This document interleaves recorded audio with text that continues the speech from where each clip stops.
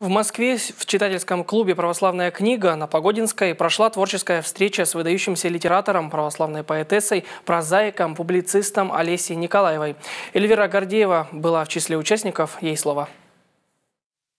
Она родилась в семье писателя-фронтовика Александра Николаева, училась в литературном институте на семинарии Евгения Винокурова, печатается в журналах, литературных сборниках, альманахах и антологиях. На счету Олеси Николаевой более 40 книг. И главное место в творчестве писательницы занимает религиозная тема – верность христианским ценностям, размышления о промысле Божьем в жизни каждого человека. Это пушкинская традиция.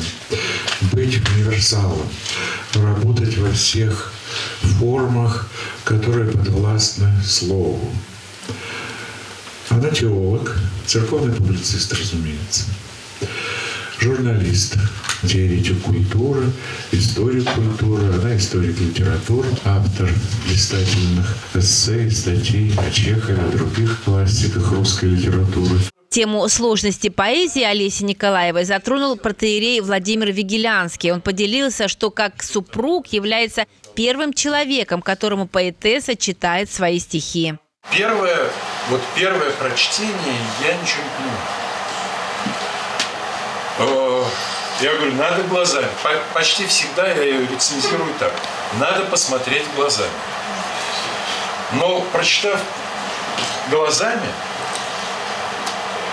ну так вот только поверхностно, что-то, э, ну вот то, чего говорит Сергей Иванович, богатая лексика, нагромождение образов, образов, что ничего просто так она не пишет, что нужно все разгадывать. По словам критика Елены Степанян, которая относит себя к числу ценителей таланта Олеси Николаевой, за внешней хрупкостью и кроткостью писательницы стоит железная воля и железный характер. Она умеет, по словам классика, в одном мгновении увидеть вечность.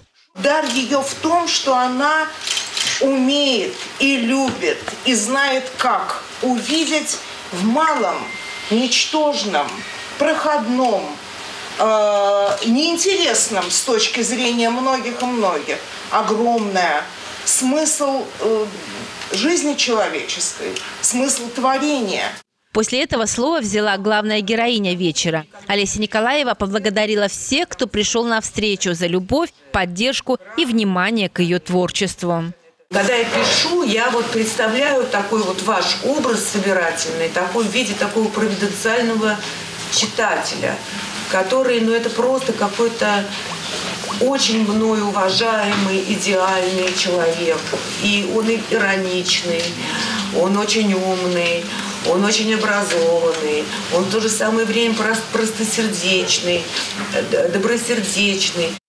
На вечер прозвучали стихи и проза Олеси Николаевой, а присутствующие гости читательского клуба смогли напрямую пообщаться с писательницей и задать ей вопросы.